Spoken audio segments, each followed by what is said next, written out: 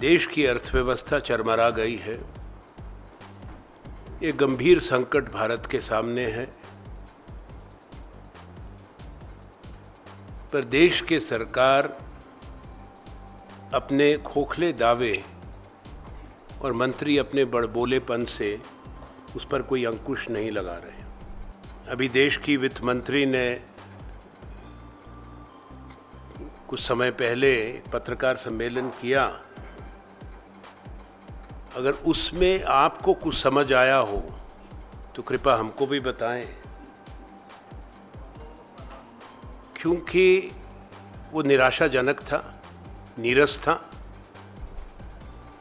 देश की आर्थिक स्थिति को देखते हुए और संकट की गंभीरता को देखते हुए ये अपेक्षा की जाती थी कि सरकार कोई ऐसे कदम उठाएगी जिससे पुनर्जीवित होगी भारत की अर्थव्यवस्था। निवेश बढ़ेगा रोज़गार पैदा होगा जो टूट रहा है। और उसके साथ साथ देश की जो राष्ट्रीय आय टूट रही है निर्यात टूट रहा है निवेश टूट गया है उसकी भी कहीं रो, रोक लगकर दोबारा एक नई शुरुआत की तरफ़ देश जाएगा। कोई ऐसा कदम वित्त मंत्री ने नहीं बताया जिससे कोई उम्मीद बन सके कि हमारी अर्थव्यवस्था अपनी इस वक्त की घायल स्थिति से उभर कर सामने आएगी। वित्त मंत्री और सरकार के मंत्री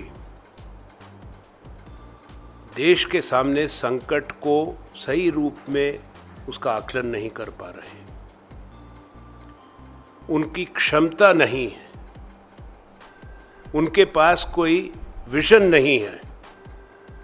और मंत्रियों के जवाब तो देश को चौंका दिए हैं। और युवा पीढ़ी का भी अपमान किया है।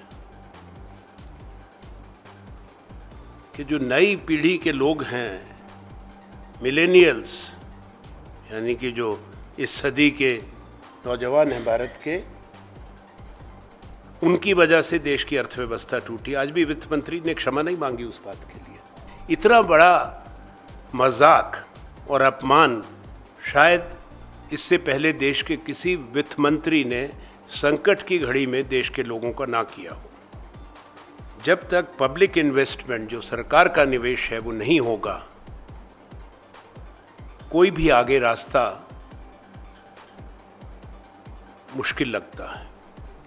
जो हालात हैं कि ये कार्यकाल तो छोड़ दीजिए, उसके बाद के भी बहुत बरसों तक वहाँ तक हम पहुँच पाए।